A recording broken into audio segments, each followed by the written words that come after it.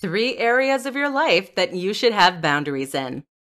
There is an endless amount of things in your life where you could set boundaries. It could be as simple as lending people things or as large as your physical space. No matter what area of your life you want to set boundaries in, they are always very important. If you feel confident enough to set boundaries and others do not respect it, then it is time to take a step back and look at who you are letting in your life. Boundaries are good for all aspects of life. 1. Physical boundaries. Generally, this is seen as the most important and most apparent area of life for boundaries to be set. Whether it be with coworkers, friends, family, or a new partner, clarifying what is okay and what is not okay for physical touching is a must do. This is often talked about in terms of toddlers. Some parents make their toddlers hug all of their relatives, but that is teaching children that it is okay to hug someone even if they don't want to. Now, more parents are letting the children choose, and if they don't want to hug their aunt or grandma, then that's okay. It's their choice. This is a very basic way of teaching what boundaries are and how they are okay. However, if you are an adult, boundaries can go much further and be much more difficult to set. You should never feel like you have to let someone touch you or you have to do this or that with someone. You are in charge of your body and you should control who can touch you. 2. Emotional boundaries. With an ever growing look into the mental health of people, emotions and someone's emotional state has become so important.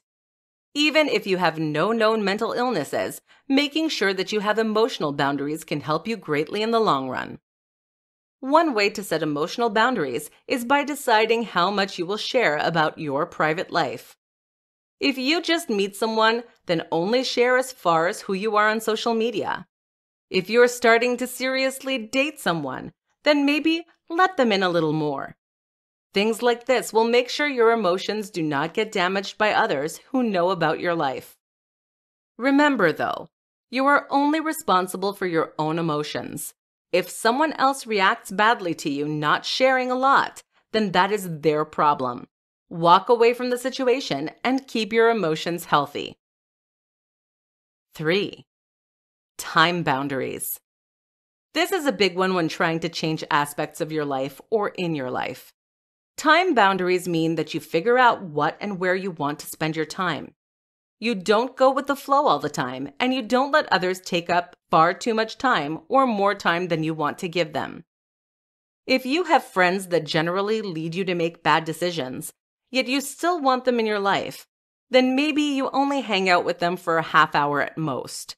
Or maybe you have a toxic parent that you can't go no contact with. So you only see them on holidays and talk to them on the phone once a month. There are plenty of ways to create time boundaries. Creating these types of boundaries could free up a lot of time to do something that inspires you or excites you. Maybe you now have time to learn yoga or do that painting class or go on more dates. If you're able to benefit in any way, then it was a good boundary to set.